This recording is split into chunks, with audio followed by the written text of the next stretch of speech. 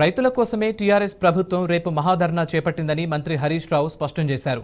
పంజాబ్కో విధానం తెలంగాణకో విధానం తగదన్నారు. దేశమంతటా ఒకే విధానం ఉండాలని డిమాండ్ చేశారు. రాష్ట్రంలో వడ్లు కొనేలా కేంద్రం మీద ఒత్తిడి తేవటానికే రాష్ట్ర ప్రభుత్వం ఈ ధర్నా కార్యక్రమాన్ని తలపెట్టిందని తెలియజేశారు. ఈ కార్యక్రమంలో మంత్రులు ప్రజా ప్రతినిధులతో పాటు బాధ్యుతయుతమైన టీఆర్ఎస్ శ్రేణులందరూ పాల్గొని విజయవంతం చేయాలని పిలుపునిచ్చారు మంత్రి హరీష్ రావు. హైదరాబాద్లోని ఇందిరా పార్కు వద్ద ధర్నా చౌక్లో ఏర్పాట్లను మంత్రులు హరీష్ రావు తలసాని శ్రీనివాస్ యాదవ్ పరిశీలించారు.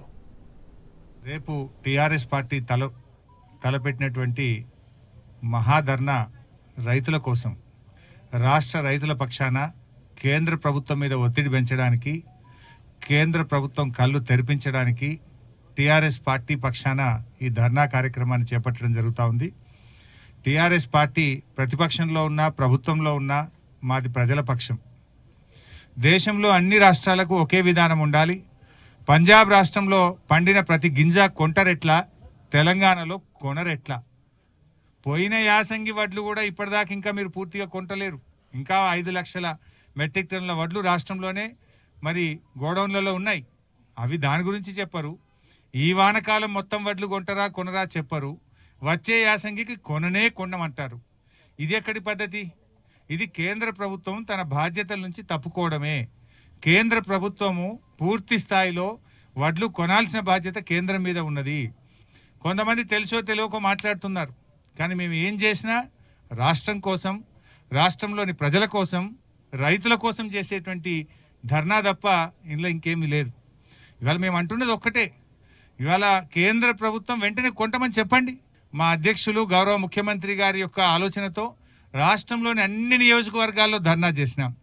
రేపు హైదరాబాద్లో చేయబోతా ఉన్నాం. మొత్తం గౌరవ ముఖ్యమంత్రి గారితో పాటు రాష్ట్ర మంత్రులు పార్లమెంట్ సభ్యులు శాసనసభ్యులు శాసన మండలి సభ్యులు బాధ్యతాయుతమైనటువంటి మొత్తం రాష్ట్రంలో ఉండేటువంటి టీఆర్ఎస్ పార్టీ శ్రేణులు. మరి ఈ మహాధర్నా కార్యక్రమంలో మా యొక్క నిరసన తెలపడం కోసం రేపు ఇందిరా పార్క్ దగ్గర జరపాలని చెప్పి ప్రభుత్వం తలపెట్టింది. మరి ఇది అత్యంత శాంతియుతంగా ప్రజాస్వామ్య పద్ధతుల్లో అన్ని అనుమతులు తీసుకొని ఇది మా యొక్క నిరసన తెప్పేటువంటి ఉద్దేశం. ఈ రాష్ట్రంలోని రైతులు ఇబ్బంది పడుతున్నారు కనుక ఆ రైతుల పక్షాన కేంద్రం మీద ఒత్తిడి పెంచేటువంటి ప్రయత్నం. స్వాతంత్రం వచ్చిన నాటిలో తొలినాళ్ళలోనే డాక్టర్ బాబాసాహెబ్ అంబేద్కర్ గారు కేంద్ర ప్రభుత్వం ఆహార ధాన్యాలు కొనాలి నిల్వ చేయాలి దేశంలో మరి ఎక్కడ ఏ అవసరం ఉన్నా కూడా దేశం కేంద్ర ప్రభుత్వం యొక్క బాధ్యతగా దాన్ని ఆ రోజుల్లో నిర్ణయించారు. కాంగ్రెస్ ప్రభుత్వం ఉన్నా కొన్నది యూపీఏ ప్రభుత్వం ఉన్నా కొన్నది జనతా పార్టీ ఉన్నా కొన్నది గతంలో ఎన్డీఏ ఉన్నా కొన్నది ఇప్పుడు కూడా కొనాలని మేము అంటున్నాం. కొత్తగా అడిగే కోరిక కాదు.